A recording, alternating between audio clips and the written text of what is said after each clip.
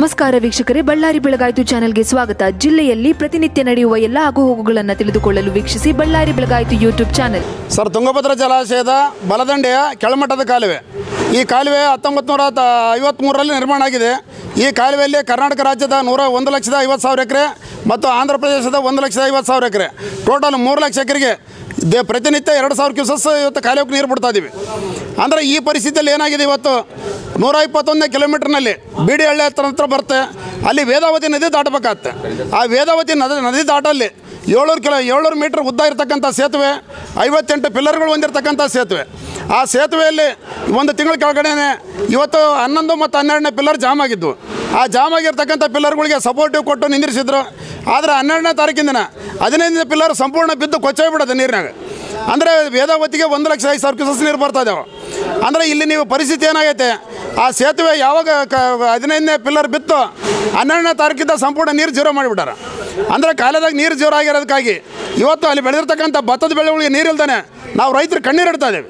ಒಂದು ಕಡೆಗೆ H L C ಕಾಲೇವಕ್ಕೆ ಅತಿ ವೃಷ್ಟಾಗಿ ಇವತ್ತಿನ ಮೆಣಸಿನಕಾಯಿ ಭತ್ತ ಮೆ, ಬ- ಹತ್ತಿಲ್ದಂಗೆ ಹಾಳಾದಾಗ ಹೋಗ್ತಿದ್ವಿ ಇವತ್ತು ಬೆಳೆಸಿರ್ತಕ್ಕಂಥ ಭತ್ತ, ಎಕರೆಗೆ ಐವತ್ತು ಸಾವಿರ ರೂಪಾಯಿ ಇಟ್ಟಿರ್ತಕ್ಕಂಥ ಖರ್ಚಿನ ಭತ್ತ ಬೆಳೆಗಳು ಇವತ್ತು ಹಾಳಾಗಿ ಹೋಗ್ತಿದ್ವಿ ಅಂದರೆ ಇದ್ರ ಬಗ್ಗೆ ಹನ್ನೆರಡನೇ ತಾರೀಕಿನಿಂದ ನಾವು ತುಂಗಭದ್ರ ಮಂಡಳಿ ಮತ್ತು ತುಂಗಭದ್ರ ಜಲಾಶಯದ ಅಧಿಕಾರಿಗಳಿಗೆ ದಿನನಿತ್ಯ ದೂರವಾಣಿ ಕರೆ ಮಾಡಿ ಕೇಳ್ತಾ ಇದ್ರು ಕೂಡ, ಇವತ್ತು ಸರಿ ಮಾಡ್ತೀವಿ, ನಾಳೆ ಸರಿ ಮಾಡ್ತೀವಿ ಅಂತ ಹೇಳ್ತಾ ಇದ್ದಾರೆ ಯಾವುದೇ ಕಾರಣಕ್ಕೂ ಕ್ರಮ ತಗೊಳ್ತಾ ಇಲ್ಲ.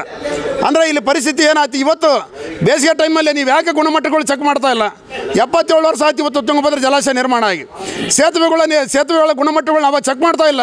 ಇವತ್ತು ನೀರಾವರಿಗೆ ಹಿಂಗೆ ಆದ್ರಿಗಿನ ನಮ್ಮ ರೈತರ ಪರಿಸ್ಥಿತಿಗಳೇನು ನಾವು ರೈತರು ಏನಾದರೂ ಕೂಡ ಬೆಳೆ ಆದರೆ ಬೆಳೆ ಪರಿಹಾರ ಕೂಡ ಕೂಡ ನೀವು ತಯಾರಿಲ್ಲ. ಅಂದರೆ ನಮ್ಮ ರೈತರುಗಳೇನು ಸಾಮೂಹಿಕವಾಗಿ ಆತ್ಮಹತ್ಯೆ ಮಾಡ್ಕೋಬೇಕಾ? ಏನು ನಿಮ್ಮ ಸರ್ಕಾರಗಳ ಗುಣಮಟ್ಟ?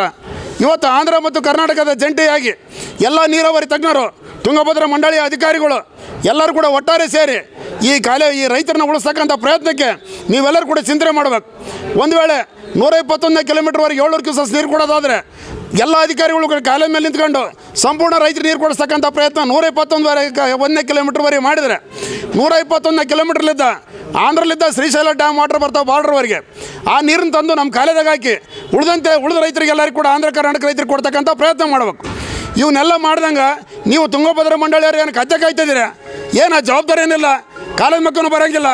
ಏನು ನೀವೇನು ಕುದುಂಗಭದ್ರ ಮಂಡಳಿ ಅಧಿಕಾರಿಗಳೆಲ್ಲರೂ ಕೂಡ ಯಾವಾಗ ಕಾಂಟ್ರಾಕ್ಟ್ ಕೆಲಸ ಇದಾವೆ ಲೈನಿಂಗ್ ಕೆಲಸ ಇದಾವ, ಆ ಟೈಮ್ನಾಗ ಮಾತ್ರ ನಿಮ್ಮ ಜೀಪ್ಗಳೆಲ್ಲವೂ ಕೂಡ ಕಾಲೇಜ್ ಮೇಲೆ ಇರ್ತಾವೆ, ಈ ಟೈಮ್ನಾಗ ನಿಮ್ಮ ಜೀಪ್ಗಳೆಲ್ಲ ಮನೆ ಒಳಗೆ ಇರ್ತಾವೆ. ಅಂದರೆ ಇದು ಏನು ರೈತರ ಬಗ್ಗೆ ನೀವು ತೋರಿಸ್ತಾ ಇರ್ತಕ್ಕಂಥ ನಿರಾಸಕ್ತಿಗೆ ನಾವೆಲ್ಲರೂ ಕೂಡ ಇರ್ಬೇಕಾ ಅಥವಾ ಆತ್ಮಹತ್ಯೆ ಮಾಡ್ಕೋಬೇಕಂತ ಸರ್ಕಾರ ನಿರ್ಧಾರ ಮಾಡಲಿ.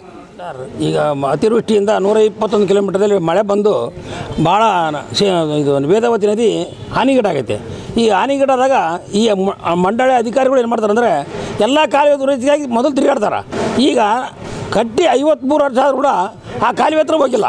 ಅದು ಎರಡು ಸೇತುವೆ ಇದಾವೆ. ಒಂದು ಕಡೆ ನೀರು ಹೋಗಲಿಕ್ಕೆ, ಒಂದು ಕಡೆ ರೈತ ಹೋಗಲಿಕ್ಕೆ. ಎರಡು ಅಟ್ ಎರಡು ಒಟ್ಟೆ ಅಟ್ ಎ ಟೈಮ್ ಮಾಡಿಬಿಟ್ರ ಅದನ್ನು ಇವ್ರು ಏನು ಮಾಡ್ತಾರೆ ಅಂದರೆ ಮೇಲೆ ನೋಡ್ತಾ ಇದಾರೆ. ಯಾವಾಗಲೂ ಹೋದ್ರೆ ಮ್ಯಾಲ್ ಮಟ್ಟಕ್ಕೆ ನೋಡ್ಕೊಂಡೇ ಬಿಡ್ತಾರೆ. ಕೆಳಗೆ ಏನಾಗೈತೆ? ಅಗರೆ ಅದು. ಕೆಳಗೆ ಉಸಿಗಿದೆ. ಆ ಉಸಿಲಿಂದ ಎಲ್ಲಿಂದ ಪಿಲ್ಲರ್ ಹಾಕಿರ್ತಾರೆ ಅಂದಾಜು? ಮೊದಲು ಮೊದಲು ಇಂಜಿನಿಯರ್ ಹಾಕಿರ್ತಾರೆ.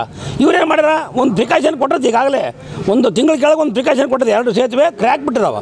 ಆ ಕ್ರ್ಯಾಕನ್ನು ಅವಾಗ ತೋರಿಸಿವಿ ಅವ್ರಿಗೆ. ಸರ್ ಕ್ರ್ಯಾಕ್ ಬಿಟ್ಟಿದ್ದಾವೆ ಅಂತ. ಅದಕ್ಕೆ ಏನು ಮಾಡಿದ್ರು ಅಂದ್ರೆ ಅವರು, ಒಂದು ಆಲ್ಟ್ರೇಷನ್ ಆಗಿ ಎರಡು ಪಿಲ್ಲರ್ ಕೊಟ್ಟರು ಕೆಬ್ಬಣ್ಣದ ಪಿಲ್ಲರ್ ತಡಿತಾವ ಮೇಲೆ ಬಲವಾದ ವೆಹಿಕಲ್ಗಳು ಮೇಲೆ ಹೋಗ್ತದವ. ಇಂಥ ವೆಹಿಕಲ್ಗೆ ಎರಡು ಪಿಲ್ಲರ್ ಕೊಟ್ಟರು ಆ ಪಿಲ್ಲರ್ ಮೇಲೆ ಸರಿ ತಾವು ಸರಿ ಬೆಳೆ ಅಂದರು. ಈಗ ಮೊನ್ನೆ ಒಂದು ಹನ್ನೆರಡು ತಾರೀಕು ಮಳೆ ಬಂದಲ್ಲ ಅವಾಗ ಏನಾಗ್ಬಿಡ್ತಾರೆ ಒಂದು ಲಕ್ಷ ಕೆಜಿಗೆ ಒಂದು ಸಲ ಬಂದ ತಕ್ಷಣ ಎರಡು ಪಿಲ್ಲರ್ಗಳು ಕೊಚ್ಕೊಂಡು ಹೋಗ್ಬಿಟ್ಟಾವ. ಅದು ಕೊಚ್ಕೊಂಡು ಹೋಗಿದ್ದು ಬರೀ ಬಿದ್ದಿಲ್ಲವು ಎಲ್ಲಿ ಹೋಗ್ಯಾವ ಗೊತ್ತಾಗಲ್ಲ, ಅಂಥ ಒಂದು ಮಳೆ ಬಂದು ಕೆಟ್ಟೋಗ್ಬಿಟ್ಟಾವ ಈಗ ಎರಡು ಪಿಲ್ಲರ್ ಇನ್ನೂ ಒಂದು ಪಿಲ್ಲರ್ ಹೋಗ್ಬಿಟ್ರೆ ಕಂಪ್ಲೀಟ್ ಸೇತುವೆ ಕೊಲೆಪ್ಸ್ ಆಗ್ಬಿಡುತ್ತೆ. ತಿರುಗಾಡಕ್ಕೆ ರಸ್ತೆ ಇಲ್ದಾಗ ಆಗ್ತದೆ, ಕಾಲುವೆ ಇಲ್ದಾಗ ಆಗ್ತದೆ. ಅದನ್ನು ಮಾಡೋಕ್ಕಾಗೋದಲ್ಲ ಈಗ. ಅದಕ್ಕಾಗಿ ಒಂದು ಪರ್ಯಾಯ ರೈತರು ಹಾಳಾಗೋದಾರ ಈಗ ಬೆಳೆದು ನಿಂತ್ಕೊಂಡ್ಬಿಡುತ್ತೆ ಬೆಳೆ. ಮೊದಲೇ ರೈತರು ಮೆಣಸಿನಕಾಯಿಗೆ ಹೋಗಿದ್ರು. ಈಗ ಭತ್ತ. ಎರಡೂ ಒಂದು ಅಡತನ ಬಂದಂಗೆ ಅವರು. ಭತ್ತ ಎಷ್ಟು ಮುಖ್ಯನೋ ರೈತರಿಗೆ ಬೆಳೆ ಆಗಿತ್ತು ಈಗ ಕೈ ಒಂದು ಎಕರೆಗೆ ನಲವತ್ತು ಸಾವಿರ ರೂಪಾಯಿ ಇಟ್ಬಿಡಿ ನಾವು. ಖರ್ಚು ಮಾಡಿಬಿಟ್ಟು ನಲವತ್ತೈದು ಸಾವಿರ ಖರ್ಚು ಮಾಡಿದ್ರೆ ರೈತರಿಗೆ. ಏನಾಯ್ತು ಅದಕ್ಕೆ ಮೊದಲೇ ಈಗ ಒಡೆ ಹಂತದಲ್ಲಿ ಬಂದ್ಬಿಡುತ್ತೆ. ಆ ಒಡೆ ಹಂತದಲ್ಲಿ ಬರ್ತಕ್ಕ ಎಲ್ಲ ನಾವು ಹಾಕ್ತಕ್ಕಂಥವು ಮುಟ್ಟಿಬಿಡುತ್ತೆ ಭತ್ತಕ್ಕೆ. ನಮಗೆ ಬರ್ತಕ್ಕಂಥದ್ದು ಏನಂದ್ರೆ ಬೆಳೆ. ಈ ಬೆಳೆ ಬರಕ ನೀರಿಲ್ಲ. ಆ ನೀರು ಒಂದು ಕನಿಷ್ಠ ಒಂದು ವಾರಗೇನ ಹೋಗ್ಬಿಟ್ರೆ ಭತ್ತ ಒಣಗೇ ಬಿಡ್ತೈತೆ. ಆಮೇಲೆ ಕಾಳು ಕಟ್ಟಕ್ಕಲ್ಲದು ಎಲ್ಲ ತಾಲಾಗಿಬಿಡುತ್ತೆ ಆ ಒಂದು ಅರ್ಥ ಮಾಡ್ಕೊಂಡು. ಅಧಿಕಾರಿಗಳೇ, ಜಿಲ್ಲಾಧಿಕಾರಿಗಳೇ, ನೀವು ಯಾವುದೇ ಒಂದು ಸಭೆ ಕರೆದಕ್ಕಿಂತ ಎಲ್ಲ ಕರ್ತೀರಿ ನೀವು. ಪ್ರತಿಯೊಂದು ಸಭೆ ಕರ್ತೀರಿ ರೈತರ ಸಭೆ ಯಾಕೆ ಕರಿವಲ್ರಿ ನೀವು? ಇಲ್ಲಿ ಅನಾಹುತಾನ ಎರಡು ಸಾವಿರ ಅಲ್ಲಿ ಹೋಗಿ ಬಂದುಬಿಡಿ. ಹತ್ರ ಒಬ್ಬ ಅಧಿಕಾರಿ ಕೂಡ ಇಲ್ಲ ಅಲ್ಲಿ.